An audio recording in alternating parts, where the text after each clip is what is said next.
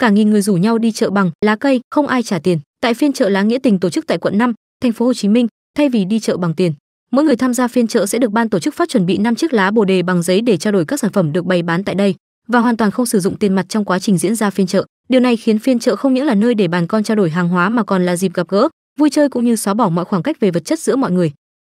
À, không phân biệt đạo đời, không phân biệt màu da sắc tộc, ai cũng muốn được những uh, à, món quà từ cái tinh thần của mình đã bảo đại.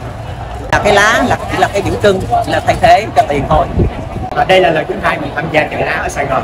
Và mình cảm nhận được cái à, niềm vui cũng như là cái sự nhân văn ở trong cái cái uh, cái sự nhân văn ở trong cái phiên chợ này.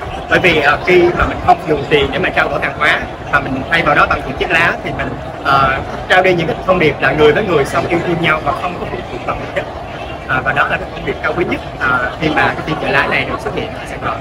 Vui và nhộn nhịp rất là hào hứng. Dạ.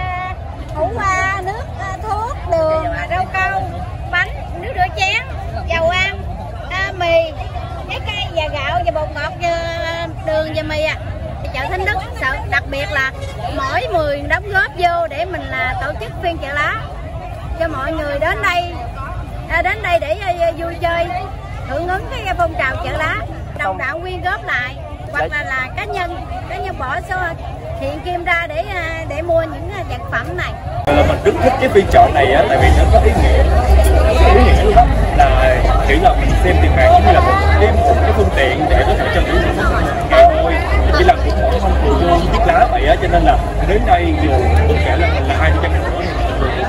cô trao đổi bằng chiếc lá này.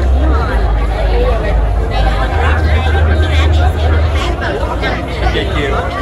Mỗi người sẽ có 5 chiếc lá thì uh, mình sẽ dùng lá để đi cho nó điểm ăn thì tôi sẽ dùng lá như vậy cho nên là mình chỉ có trong chiếc lá thôi thì cho nên suy nghĩ kỹ là mình nên ăn gì mua gì thôi